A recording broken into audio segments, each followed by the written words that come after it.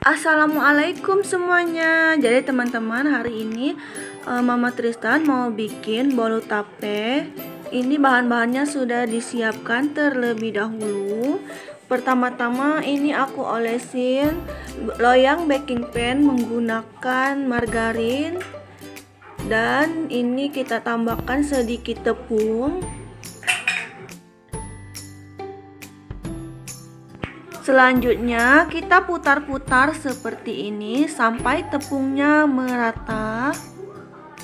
Selanjutnya sisihkan terlebih dahulu dan ini ada tape singkong 320 gram. Saya haluskan seperti ini. Cukup menggunakan garpu sampai benar-benar halus.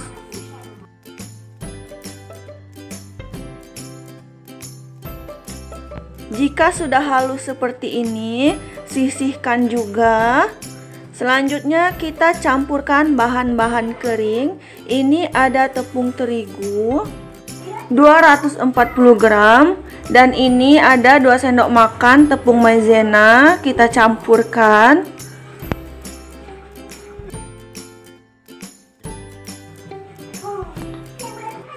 Ini susu bubuk 2 sendok makan juga.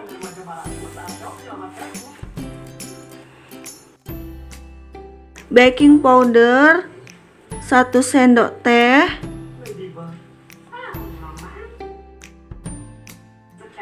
Setengah sendok teh vanili bubuk.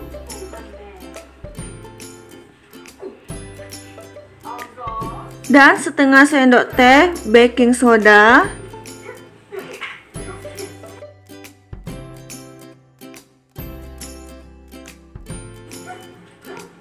dan ini kita aduk-aduk hingga tercampur rata. Sebaiknya jika sudah tercampur ini bahan-bahan keringnya kita ayak.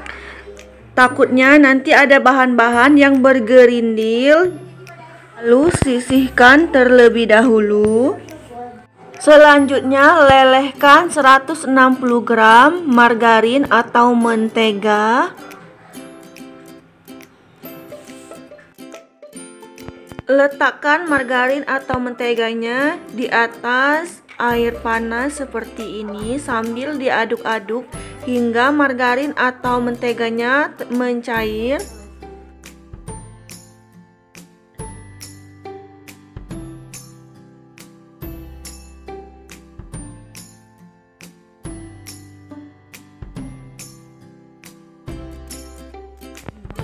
Setelah mencair, sisihkan terlebih dahulu.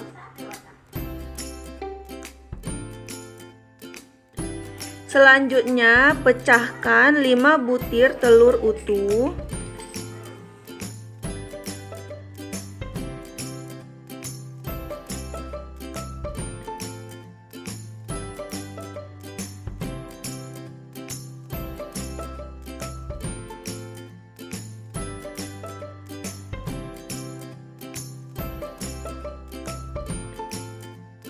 Campurkan 190 gram gula pasir.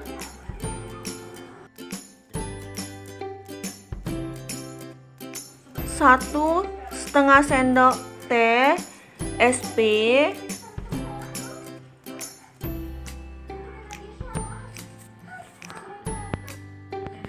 lalu mixer hingga putih kental dan berjejak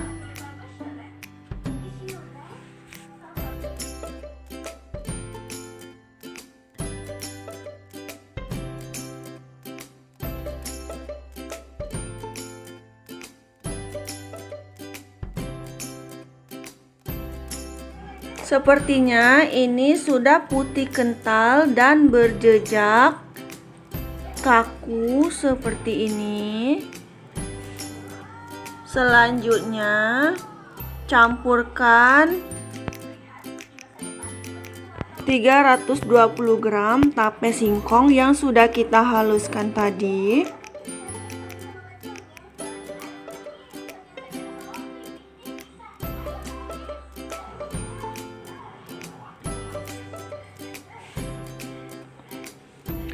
Mixer dengan kecepatan rendah asal tapenya tercampur rata.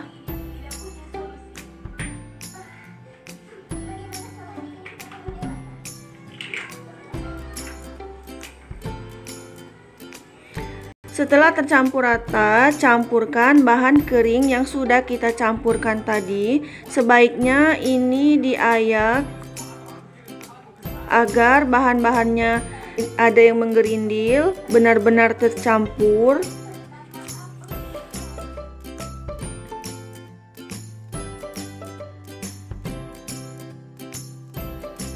Mixer dengan kecepatan rendah sampai bahan keringnya benar-benar sudah tercampur rata.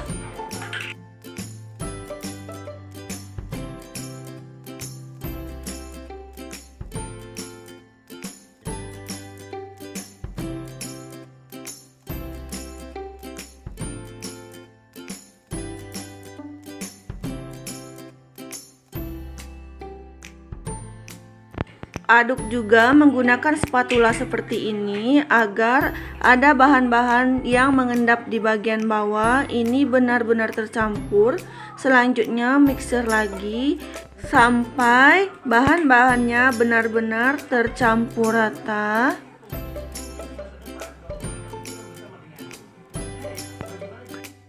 Selanjutnya, campurkan margarin atau mentega yang sudah kita cairkan tadi.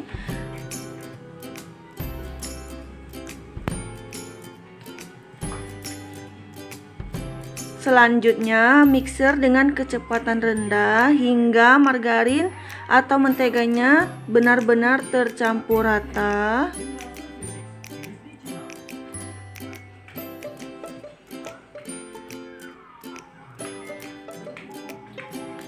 Bisa juga dengan bantuan spatula agar margarinnya benar-benar tercampur rata.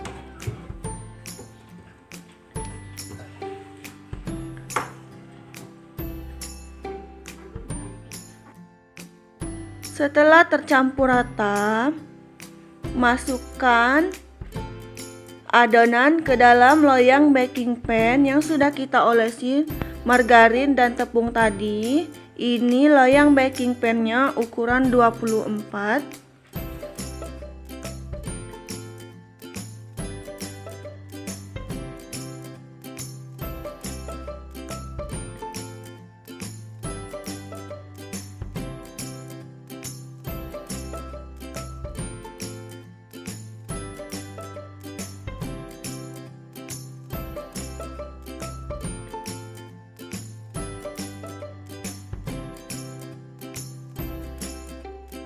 dan ini tutup baking pan-nya saya olesin dengan margarin supaya nanti pas bolunya matang kita membukanya itu tidak lengket.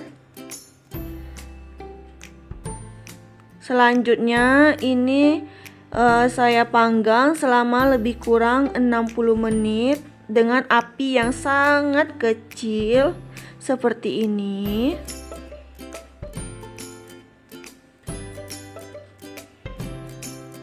Nah, setelah uh, setengah perjalanan ini saya mau kasih topping. Ini saya pakai topping keju. Kalau teman-teman tidak mau pakai topping juga tidak apa-apa, jadi tidak perlu dibuka lagi ya kalau tidak pakai topping. Selanjutnya ini aku tutup lagi sampai benar-benar nanti bolunya sudah matang. Nah, selam, setelah 60 menit ini bolunya sudah seperti ini. Boleh dilakukan tes tusuk terlebih dahulu untuk memastikannya. Ini tidak ada lagi yang menempel berarti sudah matang. Matikan kompornya, kemudian angkat.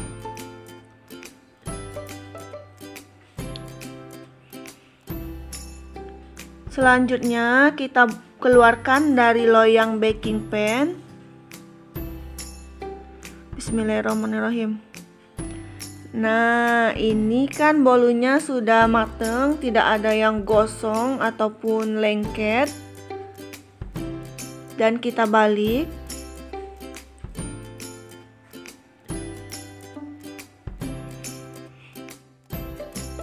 Dan ini dia hasil bolu tape kejunya.